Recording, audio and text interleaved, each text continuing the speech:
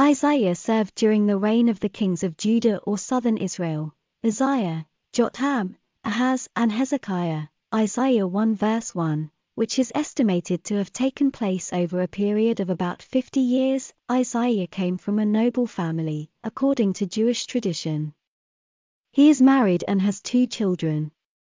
His two sons were given symbolic names, related to his prophecy.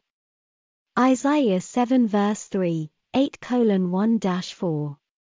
Isaiah's famous ministry to the kings of Judah, among others, is to King Ahaz, Isaiah 7, and to King Hezekiah. Isaiah 36 39. Isaiah was a great prophet. Of the prophets who wrote books, the book of Isaiah is the longest, with 66 chapters. In addition, his prophecy also has the broadest scope. Isaiah's prophecy reaches far into the future, the exile of Judah to Babylon and its return to the Promised Land.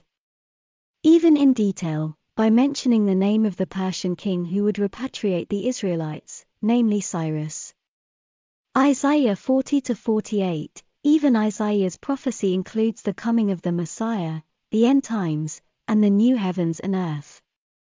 Isaiah 66 Among the prophets of Israel, Isaiah was the one who prophesied the most about the Messiah, especially his suffering and death, who was called the servant of God. Isaiah 52 13 53 12.